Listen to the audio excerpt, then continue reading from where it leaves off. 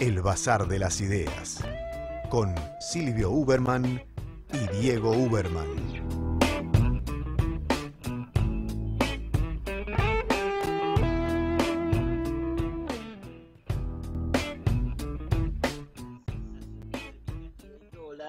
están en un mínimo descenso.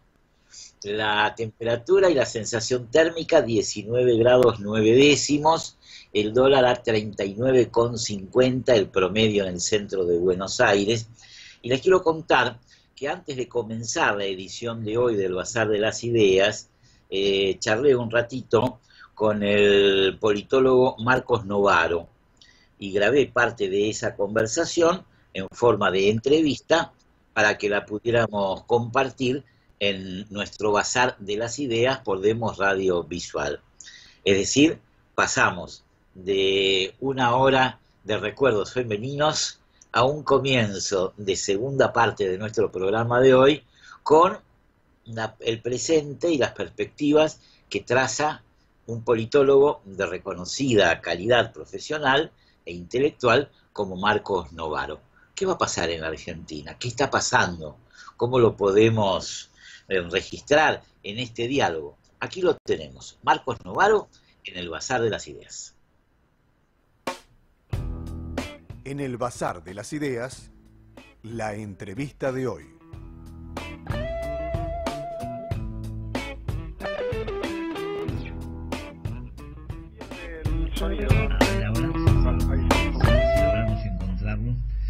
Bueno, ¿cómo estamos? Bien. Digo, acá andamos todos bien. Acá me imagino que sí. Y en el país, ¿cómo, cómo digamos, cómo te, te preparás mentalmente para estos meses que parece que van a ser tan difíciles? Mira, a ver, yo creo que eh, está la expectativa de que finalmente, después de tantos esfuerzos este, que se fallidos, digamos, el gobierno le haya encontrado la vuelta al, al, problema cambiario y financiero y, y, la situación se estabilice. Si eso se, se da, eh, va a ser en, en, condiciones bastante bastante duras, ¿no? Este, el, programa que se anunció ahora, este, que han anunciado Duhovne y Sandler es, muy duro, ¿no? Es un programa de ajuste monetario, fiscal, con, con exigencias muy muy grandes eh, y, y, que va, en principio va a tener efectos este, muy costosos en, la economía real. Ahora, la expectativa es que como va a ser tan duro, también es probable que su, su impacto sobre la inflación y sobre el dólar sea sea más rápido, ¿no? Este, entonces, este, si, si se estabiliza, inmediatamente va a generar un efecto de calma, digamos, ¿no? La, la ansiedad que tiene la gente de ver que no se sabe lo que va a pasar se puede convertir en, en una situación de, eh, de disgusto por, por de disgusto y, penuria, digamos, penuria económica, pero también de cierta tranquilidad, decir, bueno, ahora vamos a ver cómo sigue esta historia para adelante, esperemos que no siga empeorando. ¿no? ¿Y las consecuencias políticas del plan cómo las ves? Mira, yo creo que ahí el, hasta ahora lo que se lo que se observa es bueno, lo han dicho muchas, hay muchas encuestas que, que lo confirman, así que no es ninguna novedad, ¿no? Es este el gobierno ha perdido mucho apoyo, pero no es que ese apoyo se ha ido a la oposición. No, la oposición está, eh, en parte está en una situación eh, eh, también de, desconfianza. ¿no? ¿no? es que ganó, sino que más bien acompañó la, caída. la única que no perdió apoyo significativamente es Cristina, que, sigue estable, ¿no? Este, está más o menos igual que, que a principios de año, ¿no? Tiene, tiene entre 28 y 30% de apoyo, y ahí en ese en ese espacio parece no no nada nada afecta esa situación no parece que si si la economía mejora un poco tampoco Cristina va, a perder apoyo. Tampoco se avanzan las investigaciones contra ella no este, las causas de los cuadernos ha tenido algún impacto en el interior del país eh, pero en el conurbano está sólida no este, hay mucha gente que incluso responde miren este, sí, hay una, hubo una asociación ilícita y Cristina era la jefa, pero este, no me importa. es un poco así. Sí, ahora, eh, este tipo de situaciones donde el, gobierno no está pasando por su mejor momento y la oposición no acierta a encontrar un candidato que capitalice esa situación, ¿no abre el camino para un Bolsonaro, para Tinelli, para eh, el actual gobierno de Italia, para todas esas experiencias raras que tiene la política, para Trump? Este, para todas esas experiencias raras que tiene la política últimamente? En principio no es lo que está pasando, ¿no? Este, es, es, una buena una buena pregunta porque hay que estar atento a eso y ver, eh, digamos, este, la, la, digamos, la tentación de recurrir a algún tipo de salvador, de figura así un poquito este, populista, aventurera, digamos, eh, es, es una posibilidad. Ahora, por ahora no sucede y está bueno, digamos, reflexionar por qué no sucede. Yo creo que, en parte, eh, hay, hay ya figuras que están ocupando ese espacio, digamos, de la antipolítica o de, o de la frontera con la política, y son las, los protagonistas centrales, o sea, ni Cristina ni Macri son figuras del sistema político, o sea, están asociadas más bien a, a la, al al mundo este, dramatúrgico, al mundo deportivo, al mundo empresario, este, no son políticos profesionales. Y, y por lado hay un gran cansancio con esa idea de la, del Salvador que viene de afuera. Digamos. Yo creo que en eso hay una diferencia muy grande con el 2001. La gente no le está pidiendo a los políticos que se vayan, sino que hagan su trabajo. O sea, si ustedes son los que gobiernan este, demuestren que sirven para esto. Este, y especialmente eso se dirige al, gobierno nacional, pero también a la oposición que viene de una larga experiencia de no hacer bien su trabajo. Este, este, la idea de ustedes tuvieron 12 años, este es el país que nos dejaron, a ver si lo hacen mejor, digamos, es, eh, es, una, es un reclamo un poco más moderado y más razonable que decir, bueno, vayan sí, que vengan otros a ver si son mejores, porque esa esa idea, digamos, del, del, de Tinelli, este, del, tipo que no, digamos, que no viene de la política, es, este, es un poco tirar por la borda este, a todo lo que hay. Y me parece que no, por lo menos no se ha llegado a esa instancia, ¿no? Incluso cuando se pregunta sobre Tinelli en las encuestas, cada vez que se lo asocia a la política, su imagen se derrumba, ¿no? Es, esto es, es, Tinelli tiene una muy buena imagen, pero no asociada a la política, ¿no? No, inclusive este año no le va bien con su programa que ha sido siempre líder y este año está cuarto ¿no? en, en los ratings eh, diarios. Sí, es probable que eso también influya, me parece que haya cierto cansancio, pero me parece que lo, lo, principal es este, esta, este asunto de que hay como cierta hay, hay cierta idea de que el, político tiene que dar eh, soluciones, digamos, ¿no? Y, no lo está haciendo. Y este y, me parece que el espacio político está relativamente estable, ¿no? O sea, a pesar de toda esta situación tan tan tan dramática que se vivió en los últimos meses de crisis y de incertidumbre, no no estamos eh, en el digamos, ni el gobierno está de salida, o sea, si uno le pregunta a la gente, ¿usted este, considera que ya Macri fue, digamos, no no no tiene otra oportunidad? No, digamos, démosle otra oportunidad, pero digamos es, es la última, ¿no? decir, bueno, si si sigue si sigue fallando se terminó. Eh, y la expectativa de que la oposición mejore su desempeño también existe, digamos, ¿no? Entonces, me parece que son esas expectativas las que vamos a ver si, si la gente entiende que se frustran o no. ¿no? Este, por ahora yo no diría que este, ninguno de los líderes tiene cerrado el camino, ¿no? Este, los, niveles de disgusto son muy altos, pero yo no veo, digamos, no, no veo como en 2001 el, el, el rechazo, ¿no? El rechazo así total que existía en ese momento que fue este, demoledor, ¿no? Para una toda una generación de políticos que quedaron fuera de juego. ¿Pensás que, por ejemplo, estas medidas económicas y financieras que se están tomando son las que eh, la gente en definitiva pensaba que se iban a tomar al comienzo de la gestión y que ahora ven que se están tomando o pensás que lo pueden castigar a Macri por no haberlas tomado? Ahí yo creo que ha habido más bien una evolución, eh, una evolución ah, en parte adaptativa, en parte también de, de, un, de un cambio de percepción sobre la dimensión de los problemas. Este, y ese este, y eso ha influido en que cambiaron, cambiaron mucho las expectativas. Al comienzo de Macri, este, un poco por, por su propia por su propia promesa, digamos, de que había una salida sin costos del kirchnerismo, una salida este, gradualista y que iba a hacer digamos, que, que las inconsistencias se disolvieran, este, consumiendo tiempo, tomando deuda, pero digamos que sin grandes conflictos. Esa idea tenía bastante consenso. Y eso es lo que sostuvo este, la expectativa positiva en el gobierno, ¿no? Este, estamos mal, pero pronto vamos a estar mejor. Ahora, esa expectativa era muy costosa porque había que satisfacerla, tenía que venir el segundo semestre. Entonces estaban todo el tiempo este, desde el gobierno alimentando la, idea de que pronto las cosas van a mejorar, esperen un poquito.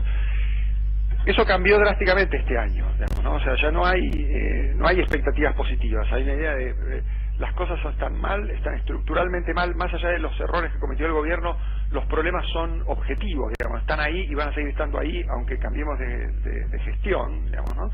Eh, y requieren esfuerzo para resolverse. Entonces, ahora ya el gobierno tiene ese combustible en las expectativas, pero también se ha liberado un poco de la trampa de las expectativas, que, es que vos tenés que cumplir con una promesa que es muy exigente, digamos, ¿no? Entonces, yo creo que en, en parte se ha resuelto ese, ese dilema en el que el propio gobierno se metió, que era este, alimentar una, una, demanda que era muy difícil de atender. ¿no? Eh, te doy dos nombres, a ver qué te parecen como figuras emergentes. Una la de Lorenzetti y otra la de Martín Lustó.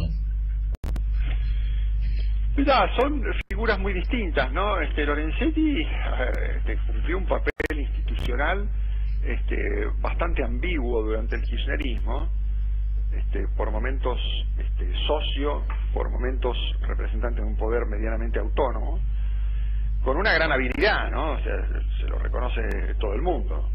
Este, fue, este, fue un, un actor de bambalinas, pero central del periodo kirchnerista, ¿no? Este, acompañó y al mismo tiempo en algunos momentos puso cierto límite, ¿no? Sobre todo en los últimos años con la oposición a las reformas más, más radicales, más extremas. La reforma de la justicia, en cierta medida la ley de medios, ¿no? que recordemos avaló, pero después este, a medias. ¿no? Entonces, eh, yo creo que está muy asociado a ese ciclo, a ese ciclo político y su paso al costado, como que termina con, una etapa en la que este, la, justicia eh, este, ha quedado muy en el centro de la preocupación de la gente, ¿no? Este, y, claramente no es, no era un actor reformista, no era capaz de impulsar los cambios que hacen falta, ¿no? está muy asociado a, a la trama de, los jueces federales de Comodoro Pi, entonces este, Lorenzetti tenía que dar un paso al costado. Yo, yo creo que Lustó es otra cosa, Lustó en parte, en parte es emergente de esa descomposición de los partidos políticos, eh, que también es un fenómeno que nos acompaña hace tiempo, pero que este, convive con partidos que resisten, ¿no? Entonces este, está adentro y afuera del sistema. En eso se parece también un poco a Macri, se parece un poco a Cristina, digamos, este, ¿es parte de las políticos profesionales o es una estrella del espectáculo? ¿no? Este, Lustó es un poco las dos cosas, ¿no?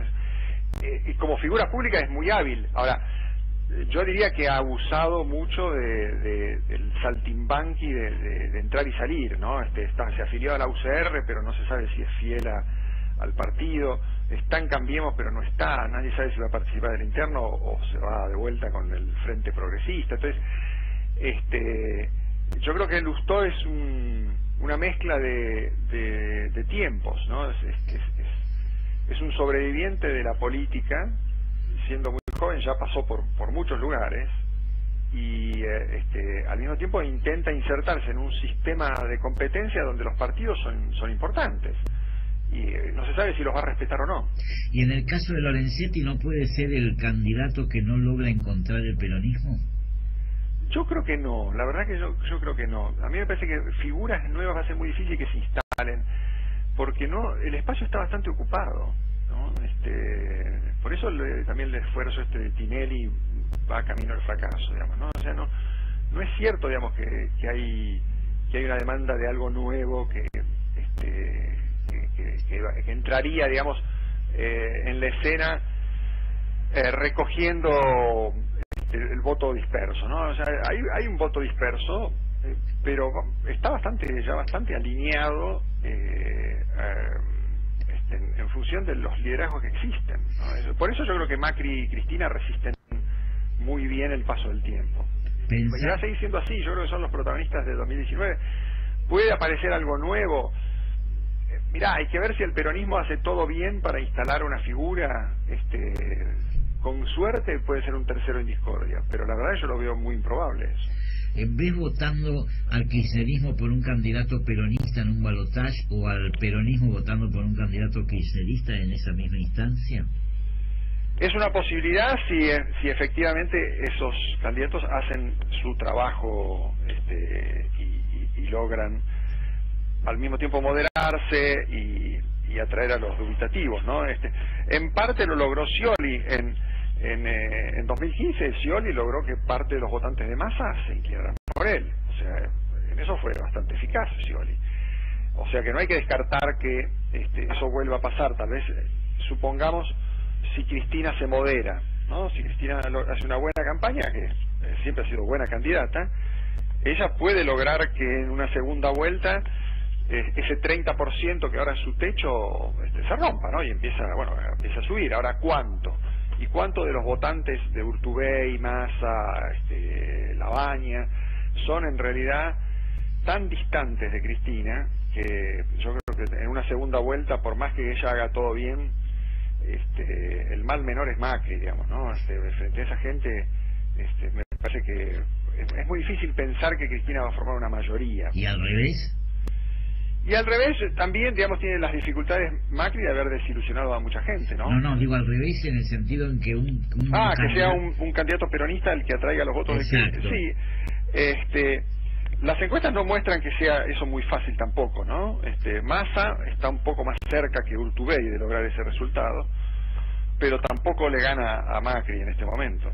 Este, y, eh, y, en parte es por eso, ¿no? En parte son votantes muy duros de Cristina que tal vez prefieren este, abstenerse o votar este, al, Frente Progresista o, digamos, alguna otra variante. Por eso también este, el, sector este peronista este, moderado está tratando de atraer al sector este, de Stolbizer y, y de los socialistas y no romper demasiado los lazos con, con Cristina, ¿no? Yo creo que por eso también resisten la idea de votar el desafuero, ¿no? O sea, no, no quieren aparecer como los que condenan a Cristina este, y, la, y la marginan, ¿no? Marcos, te mando un gran abrazo y te agradezco mucho este tiempo. Bueno, igualmente para vos, que sigas bien. Igualmente, gracias, gracias. Marcos Novaro, hoy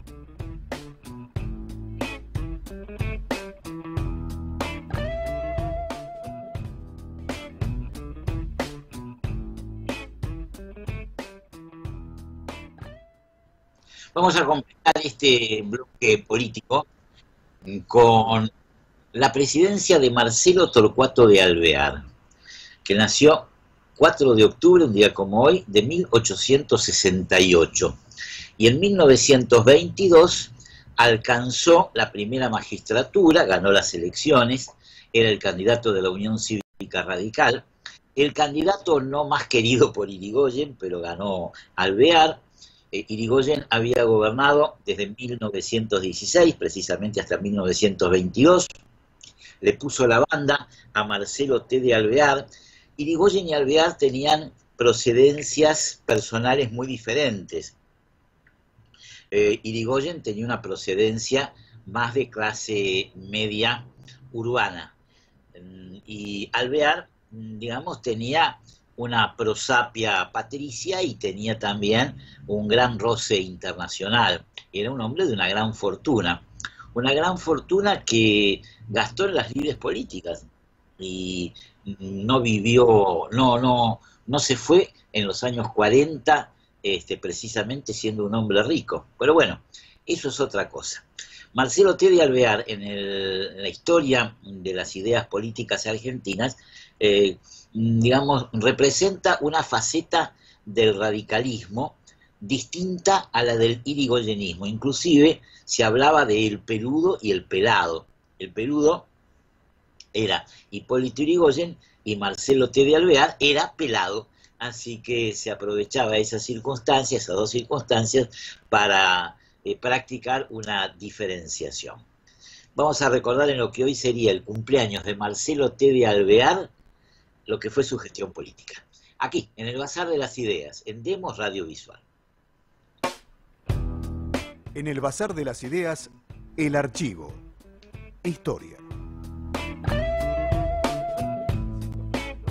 Se produce la renovación presidencial y el radicalismo designa como candidato a Marcelo T. de Alvear, notorio miembro de la oligarquía y representante del ala conservadora del partido.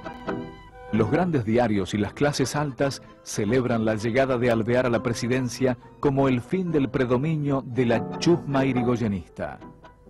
Uno de ellos había vuelto al gobierno. Y Alvear, que había pasado largas temporadas en Europa, vio muy claramente que el problema de la democracia en la Argentina era su subsistencia y su mejoramiento a través del tiempo. Hizo incluso algunas cosas sorprendentes, como rebajar las tarifas de pasajeros y de cargas de los ferrocarriles privados ingleses, cosa que ni siquiera Irigoyen se animó a hacer. En otros casos hubo retrocesos, como la amplia ley de jubilaciones que propiciaba Irigoyen y que no apoyó a Alvear, o como la ley de nacionalización de petróleo, que eh, Alvear eh, era reticente frente a eso pero que fueron años de gran prosperidad, de gran respeto por la autoridad y de un gobierno preocupado realmente por el bienestar de los habitantes y la calidad de vida de los argentinos. Eso no hay ninguna duda. Alvear tenía un estilo de gobierno distendido, que fue satirizado así por la revista Caras y Caretas. En cuanto salta del lecho, se viste muy satisfecho. Juega al golf con elegancia, igual que lo hacía en Francia. A la casa de gobierno corre. ¿Qué correr eterno? Que sustentaba las ideas mucho más liberales que el propio Irigoyen. A tal punto que al poco andar chocaron y se formó una tendencia alviarista o antipersonalista, como se le llamaba entonces, contra la tendencia este, tradicional del radicalismo. Eran tiempos de prosperidad y de una riqueza que seguía mal repartida. La protesta social continúa y durante todo el periodo de Alvear estallan 519 huelgas que involucran a más de 400.000 trabajadores. Todavía no se había acallado el debate sobre los fusilamientos de la Patagonia cuando en enero de 1923 el anarquista alemán Kurt Wilkens mata al teniente coronel Héctor Varela en la puerta de su casa de Palermo.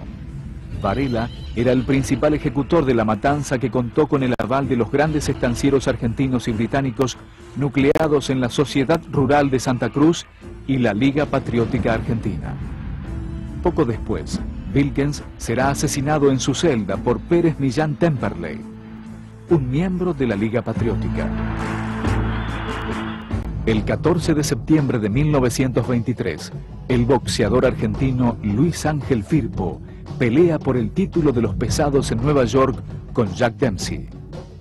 Toda la Argentina está atenta al combate, algunos con sus radios a galena, otros frente a las carteleras de los grandes diarios. En un instante de gloria, Firpo saca a Dempsey fuera del ring, pero el árbitro demora el conteo y el norteamericano se recupera derrotando finalmente a nuestro campeón. La pelea se transformó en una leyenda. Otra pelea de fondo se da en 1924 dentro del partido oficial. Se efectiviza lo que en los hechos se venía dando, la fractura del radicalismo entre el sector que respondía a Irigoyen, llamado personalista, y los comités que seguían Alvear, llamados antipersonalistas. En realidad, se evidencian en la ruptura dos estilos que respondían a diferencias metodológicas y hasta de origen social el irigoyenismo con su inserción más popular, con sus apellidos nuevos, y el alvearismo, aristocrático, conservador, más vinculado al pasado. Para 1924 comienzan a manifestarse en el país ideas nacionalistas que habían ido tomando forma desde los hechos de la Semana Trágica de 1919. Los nacionalistas se preparaban lentamente para retomar un poder que nunca habían perdido del todo, pero que creían peligraba mientras prevaleciera el sistema democrático. En el centenario de, la batalla de Ayacucho, en la cual se conmemora justamente la última batalla librada contra el, colonialismo hispánico, Lugones dice su famoso discurso eh, de la hora de la espada.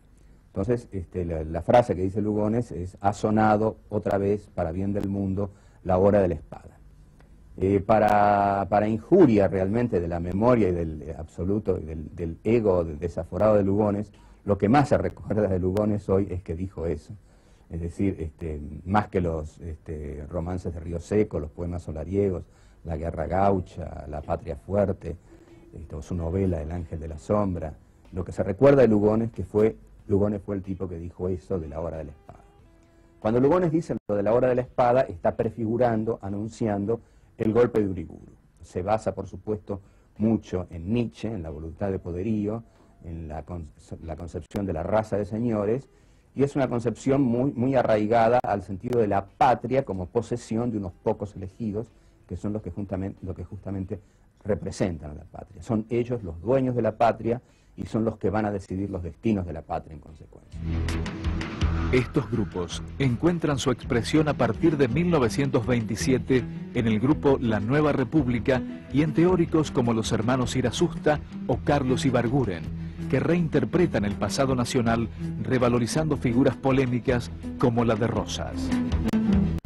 En el comienzo de la biografía de Juan Manuel de Rosas, Ibarguren narra cómo el padre de Rosas, el día que nace el pequeño Juan Manuel, que en ese momento no era don Juan Manuel, era el pequeño Juan Manuel, el padre se viste de militar y va al regimiento en busca de un capellán militar y no eh, ceja en su intento hasta encontrarlo, porque quería que en un mismo momento, en un mismo acto, su hijo fuera ungido católico y militar. O sea que no había nada más coherente para Ibarguren que don Juan Manuel de Rosas fuera este, bautizado por un cura militar.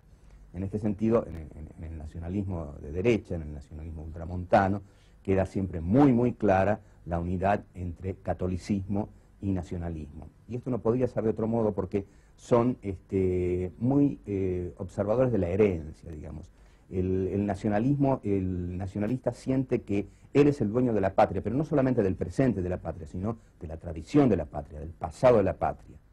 Es un movimiento más bien, en el sentido estricto del término, es un movimiento reaccionario. Y quiero decir, con, usando eh, esa palabra, que no es solamente conservador, pero es reaccionario en el sentido de que ve el pasado como el modelo del futuro. Es decir, que si esta explicación tiene sentido, es al revés del fascismo, porque el fascismo ve el futuro, no el pasado, el futuro. Aunque se pone un poco más complicado, porque hay que admitir en el fascismo hay eh, la explotación de mitos sobre el pasado, que también se ve en el nacionalismo argentino. Pero básicamente lo que quiere el fascismo es un futuro, lo que quiere el nacionalismo es un pasado.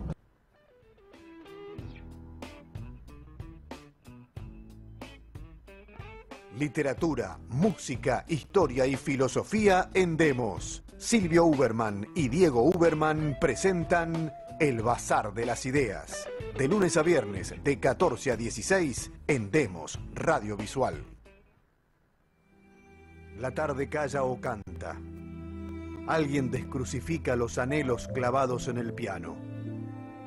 Está en ti la aventura como la primavera en la hoja nueva. Jorge Luis Borges.